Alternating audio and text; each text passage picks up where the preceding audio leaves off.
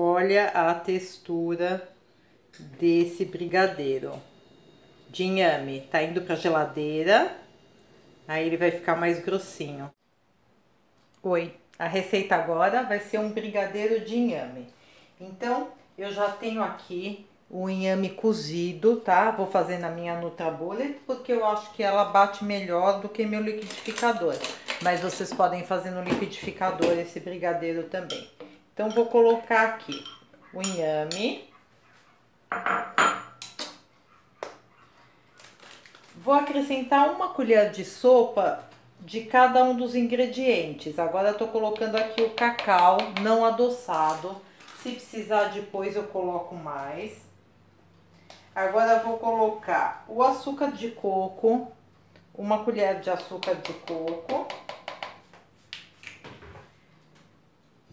Para dar mais cremosidade, vamos acrescentar também uma colher de sopa de óleo de coco.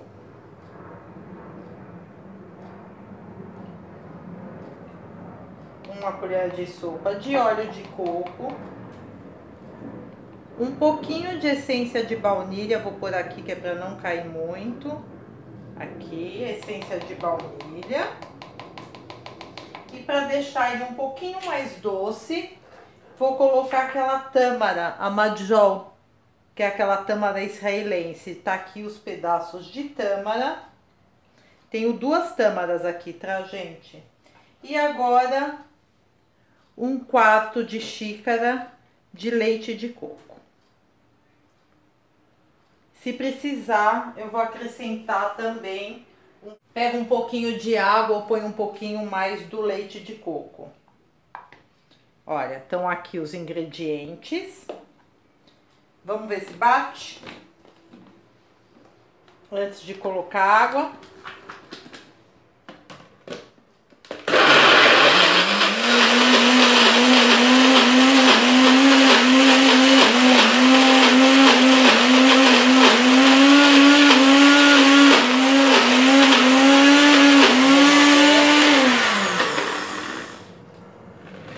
Abrir e ver.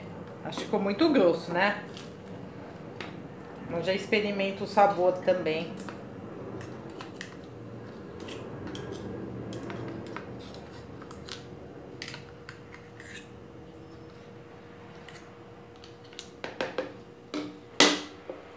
Se ficar muito líquido, o que acontece? Depois a gente tem que colocar ele para apurar no forno, no fogão, desculpa.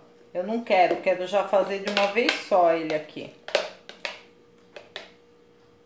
Vamos ver o gosto, como é que tá.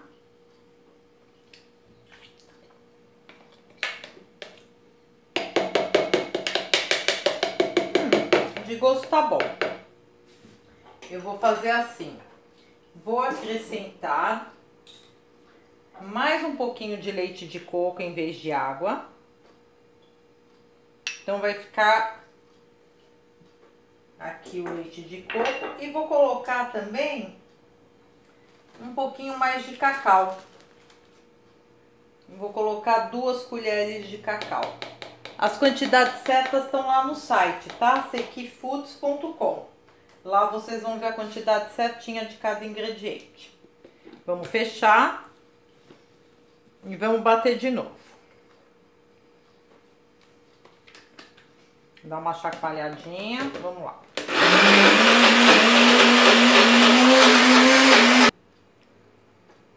Bom, abri de novo aqui, vou falar pra vocês. Quero um pouquinho mais doce, ó.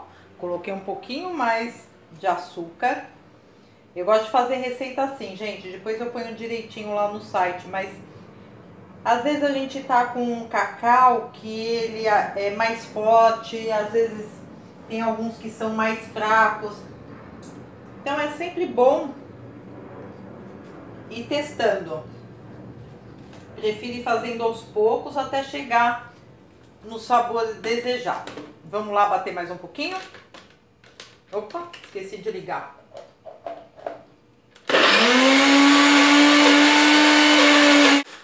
Vamos abrir.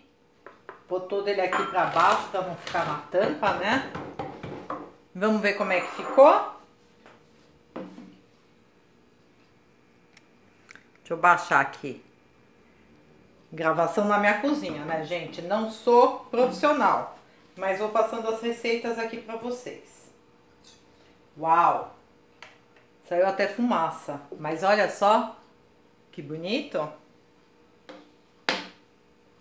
Eu acho que agora pra mim tá no ponto. Tá do jeito que eu gosto, como eu falei pra vocês. Vocês decidam aí se vocês querem mais forte, mais fraco. Se quiser em ponto de brigadeiro mesmo, leve ele no fogo e deixa apurar um pouco. Mas eu acho que só na geladeira, porque o óleo de coco que a gente colocou, ele tá derretido, né? Na hora que vocês colocarem, que tá muito calor aqui, tô em São Paulo, tá muito calor. Na hora que ele for pra geladeira, tudo isso que a gente bateu vai engrossar. Então, acho que ele já vai ficar na consistência certa. Vou raspar direitinho, mas isso vocês não precisam ficar aqui comigo, né? Olha aqui. Nosso brigadeiro de inhame, super saudável, sem muita gordura, só a gordura do coco. Vale a pena fazer, né? Vai pra geladeira agora. Tô deixando mais duas receitas bem legais aí do lado para vocês. Entrem no meu canal se inscrevam, entrem no site. E é isso aí, por hoje é só. Dê um like aí se você gostou. Tchau, até a próxima. Olha a textura desse brigadeiro de inhame. Tá indo pra geladeira.